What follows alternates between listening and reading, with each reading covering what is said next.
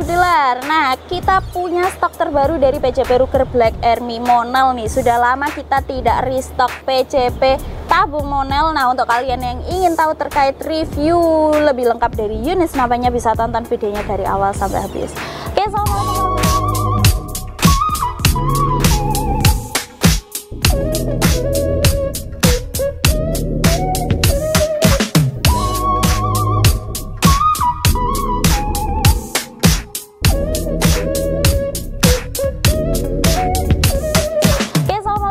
wabarakatuh. Salam pediler, salam satu laras. Jumpa kembali di channel distributor taktikal.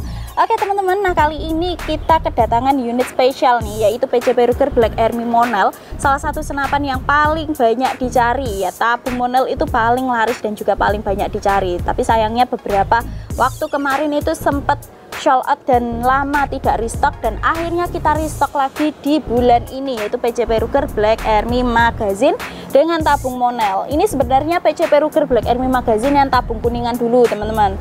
Cuma dia ada pembaruan atau upgradean terbaru di bulan ini yaitu berada pada tabungnya. Tabungnya ini yang dulunya berbahan Tabungnya ini yang dulunya berbahan kuningan sekarang di-upgrade menjadi tabung berbahan monel yang pastinya juga lebih irit ya seperti itu lebih irit terus juga bisa nampung angin yang jauh lebih besar ya seperti itu teman-teman.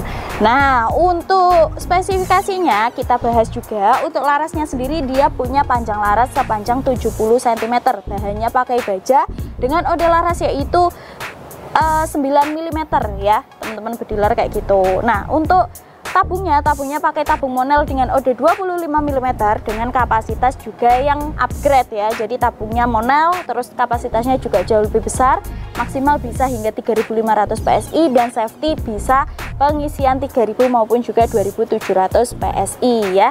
Itu harap diperhatikan. Jadi jangan sampai melebihi batas aman ya teman-teman kayak gitu.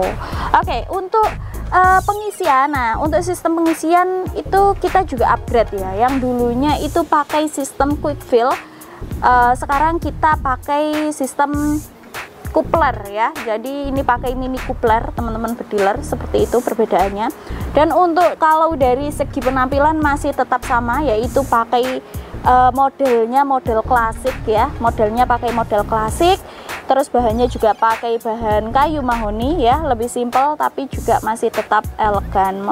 Mempertahankan ciri khasnya yaitu PCP Ruger atau PCP Jawa yang popornya popor klasik ya kayak gitu teman-teman. Nah untuk selanjutnya senapannya juga sudah support single shot support magazine lalu juga sudah uh, tiga speed track tarikan. Jadi nanti bisa disesuaikan dengan kalian kebutuhannya berburunya itu berburu apa? Kalau hanya sekedar berburu burung berburu ular ya mungkin bisa pakai satu hingga dua speed track tarikan tapi kalau mau berburu babi hutan biawak seperti itu kalian bisa pakai tiga speed track tarikan dan jangan lupa kalau kalian mau berburu semacam babi hutan biawak ya seperti itu atau hewan-hewan yang lainnya itu bisa pakai tiga speed track tarikan pokoknya hewan tersebut bisa tumbang kalau kalian uh, targetnya itu di daerah vitalnya ya teman-teman seperti itu.